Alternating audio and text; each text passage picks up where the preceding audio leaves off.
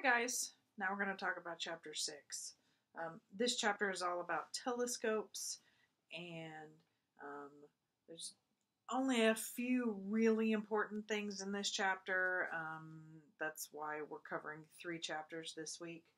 Um, you know, section 1 talks about telescopes and how they work. This formula in here for the light collecting area of a telescope.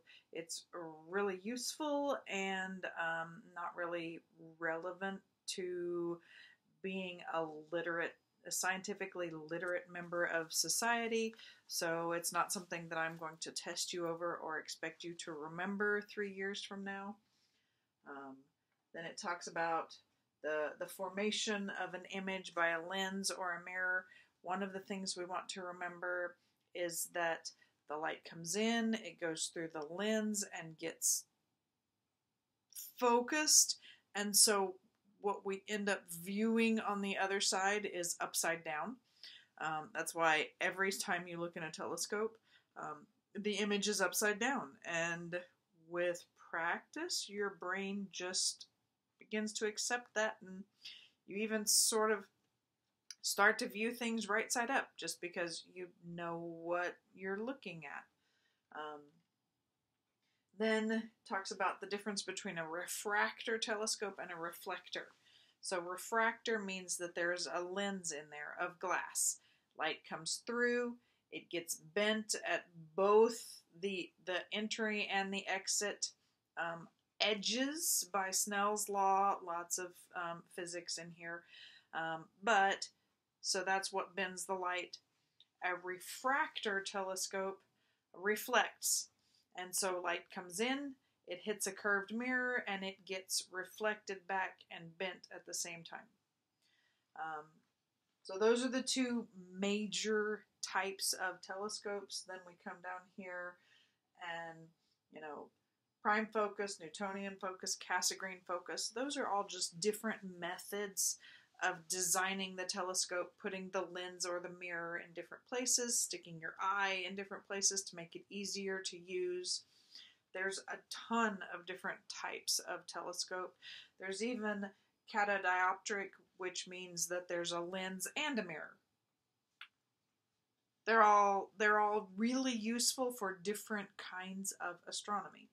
Um, and then um, Section 6.2 talks about telescopes today and the fact that we've really, for large research telescopes, moved away from those refractors because the glass is so hard to pour perfectly pure. Um, it's much cheaper and simpler to make mirrors, and so you know, there's a huge list here of the big telescopes around the world um, and a couple of cool pictures. Um, and I've visited the, the Palomar um, 5 meter in image A. Um, it's really cool. Um, and then some story about George Ellery Hale and how he went about building some of these huge telescopes um, the Yerkes 40 inch telescope, um, which is the, the largest refractor in the world. It's up near Chicago. Um, I've been to that one too. It's really awesome. Um, there's a group here in northwest Arkansas that is trying to build an observatory with a 24 inch refractor telescope. So maybe that'll be available in a couple of years. That would be cool. Um, and then section 6.3 talks about visible light detectors, and this is all about how um, a CCD works. And so a CCD is a charge coupled device. It's the same thing that's inside your digital camera. Um, and that's how we collect astronomy images today. Um, and talks about the various different kinds of light that are available. Um, 6.4 talks about radio telescopes.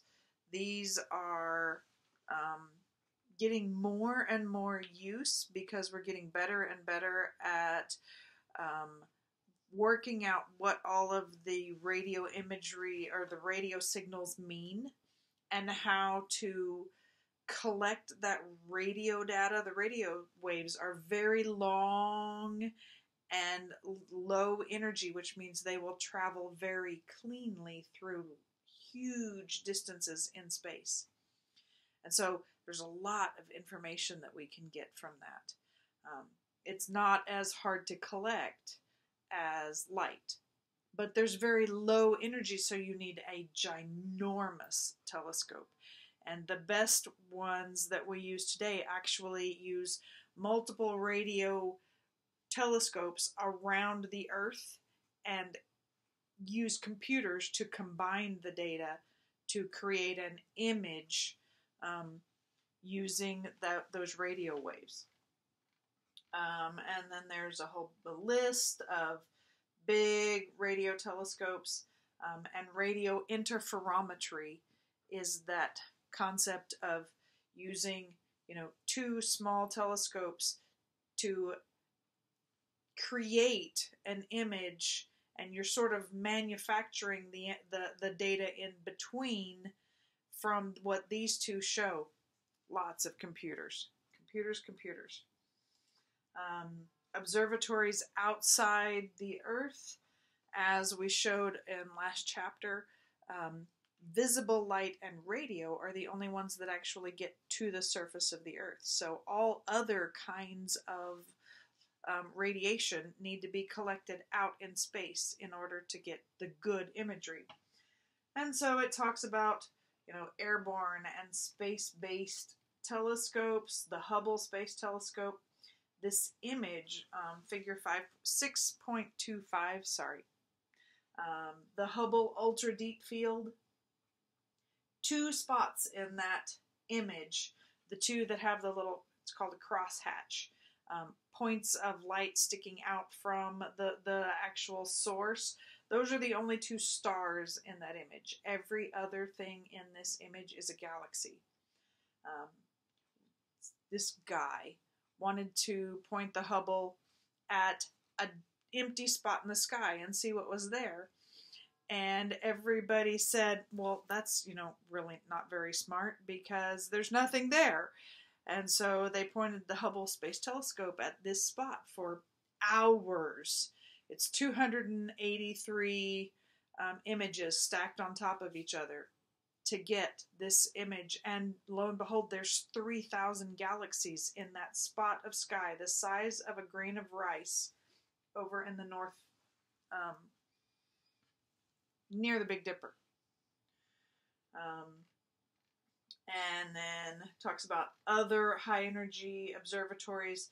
The Chandra X ray Observatory is really getting lots of amazing imagery right now.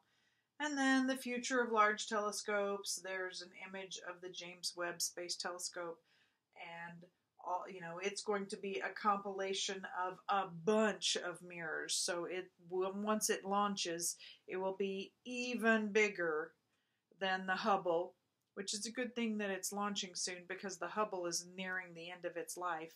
So um, we will still have telescopes out there. So that is chapter six. Thanks.